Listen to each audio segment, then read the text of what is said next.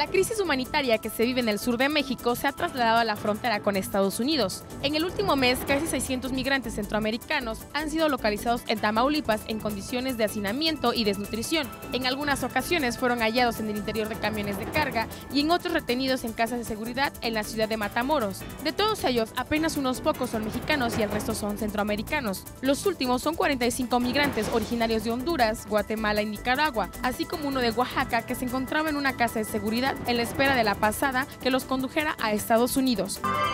En Puebla, un excursionista estadounidense murió durante su travesía por el volcán Citlaltépetl en el centro de México, mientras que su acompañante fue rescatado este lunes con ayuda de helicópteros y trasladado a un hospital en la capital mexicana, confirmó la autoridad. En 2015 se hallaron en la montaña un par de cuerpos momificados a unos 5.200 metros de altura, los cuales no han sido rescatados por la complejidad del sitio en el que permanecen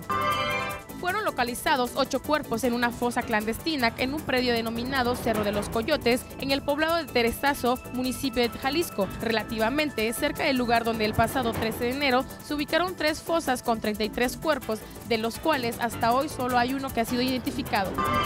En Ecatepec, Estado de México, el gobierno municipal clausuró dos rastros que operaban de manera irregular en el pueblo de San Isidro, Atlautenco, uno donde se incineraban vísceras de ganado porcino y el otro un rastro de pollo Ambos carecían de medidas de seguridad, licencias de funcionamiento y uso de suelo. Además, representaban un riesgo para la salud de los vecinos de la zona. Al ingresar a uno de los establecimientos se encontraron 20 tambos de vísceras y manteca de puerco y una manguera que conecta al drenaje donde se encontraron residuos de grasa animal, los cuales presuntamente eran derramados por el personal del lugar.